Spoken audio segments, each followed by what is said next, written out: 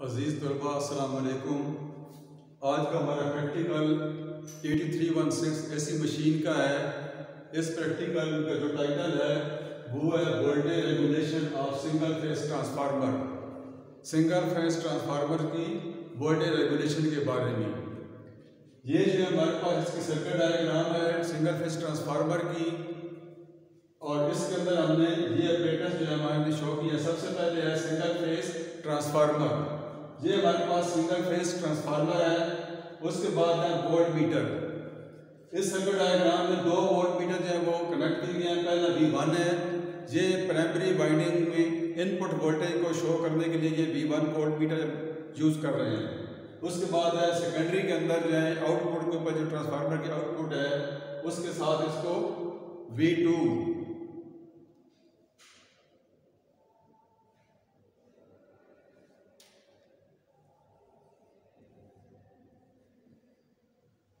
ये V two जो है, ये दो किस्म के वोल्टेज आउटपुट शो करता है। जब ये लोड कनेक्टेड ना हो तो ये वी टू नॉट वोल्टेज को शो करेगा।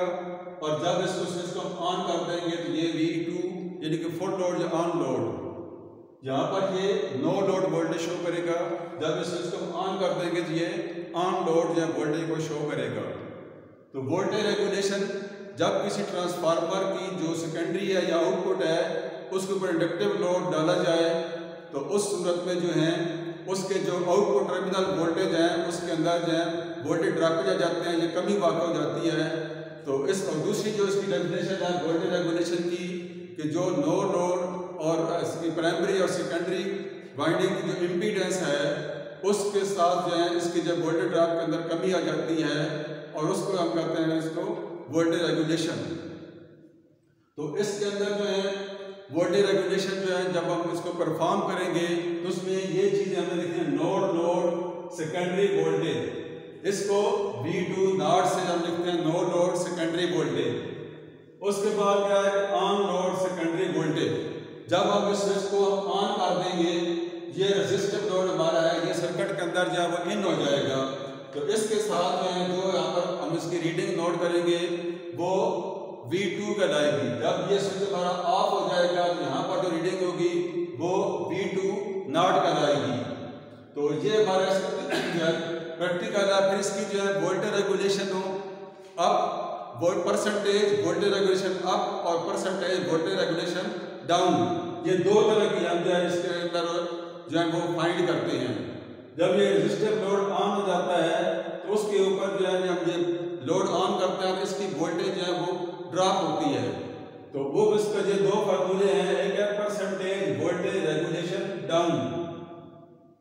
तो इसमें क्या होता है B two not minus B two divided by B two not multiply by hundred इसका जो है, जो रिजल्टेंट आता है, इसको हम कहते हैं परसेंटेज वोल्टेज रेगुलेशन डाउन या फ़ीसद वोल्टेज रेगुलेशन डाउन इसी तरीके से जो है, ये percentage percent voltage regulation up या फ़ीसद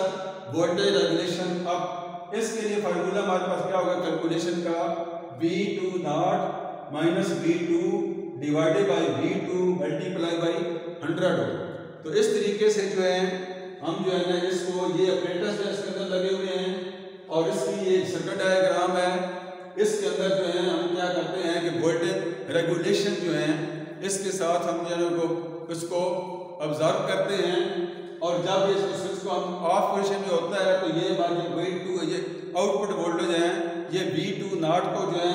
शो करता है। उसके बाद जब हम स्विच को ऑन कर देते हैं तो ये रेजिस्टिव लोड या सर्किट के साथ आ जाता है कनेक्ट हो जाता है और उस सूरत में हमारे पास ये वी टू या ऑन लोड वोल्टेज जो है, इसको हम इसको ज़ाहिर करते हैं। तो इस तरीके से जो है, ये प्रैक्टिकल जो है, हम जो इसको प्रैक्टिकल परफॉर्म करेंगे तो ये जो आप आपको जो वैल्यू जो देंगे, जब इसके फार्मूले बताए हैं, इसको हम इम्प्रूव करेंगे या वेरीफाई करेंगे ट्रेनर के ऊपर जो है। तो अज़ीज़ तलबा इस सिलसिले में उम्मीद है कि जो आपको बताया गया, इसका जो प्रोसीजर है वोल्टेज रेगुलेशन का, इसको आपको समझ आ गई होगी और उसको मज़ीद जो है हम इसको ट्रेनर के ऊपर जो है ना प्रैक्टिकल जब परफॉर्म करेंगे तो इसके साथ जो है ना मज़ीद हो जाएगी और इसके बारे में कोई क्वेश्चन हो तो आप इसको इन बॉक्स में कमेंट्स करें। इन आपका प्रॉपर जो रिप्लाई दिया जाएगा। अल्लाह हाफिज़।